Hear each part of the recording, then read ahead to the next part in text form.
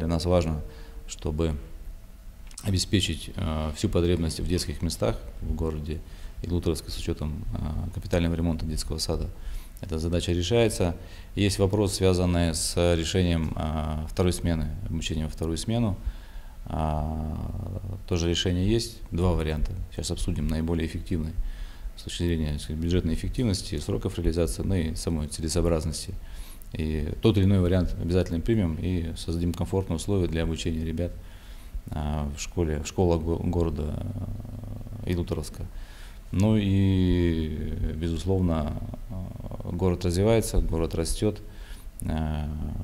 Принято решение о выделении дополнительных средств для обустройства и ремонта городских улиц и обустройства и ремонта дворовых территорий.